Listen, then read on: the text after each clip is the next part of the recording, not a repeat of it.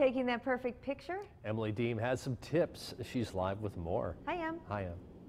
Morning, Rachel and Doug. Hi, everybody. I'm here with Nicole Garcia, professional photographer with Squid Photography. We're getting everybody ready to take that perfect picture, whether it's a holiday picture or something you want to hang on your wall. Um, well, we already have what we need. I have my iPad. I'm going to take my pictures with this. Nicole, you have your camera.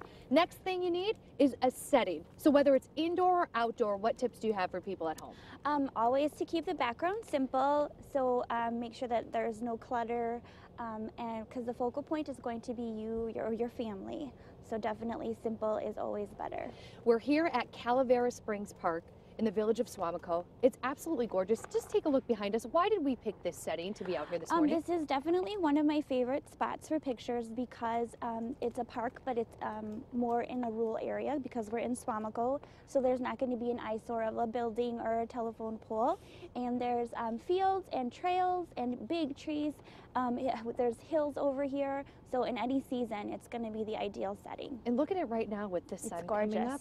I'm so excited It's to so be here beautiful. this morning. Yeah. So let's talk about some pictures you took inside. So newborn babies. Obviously, you'd want to send something to grandma and grandpa. yes. What did you do here for this picture? Well, this again, we see the background is simple. We're all using creams because the focal point is, of course, these beautiful baby twins, and um, so we kept the background simple so that you can see how beautiful they are.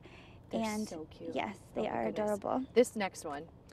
Same thing, you know, we're keeping it simple. The focal point again is the is this beautiful little girl Harper, and um, that's just always my tip. You want the focal point to be um, st- to stand out. So if you keep the background simple, plain, monotoned, monochromatic, that's uh, what's best. And I know too, you ask parents or whoever if you're going to be taking their pictures. Hey, make sure you have like some blankets or something to help with that. Maybe go home, see what you have there. Right, exactly. So solid colors in the background is best. Look at this with the tree, the solid color in the background. This is your family. Yes, this was my family this past weekend. We uh, cut down our Christmas tree.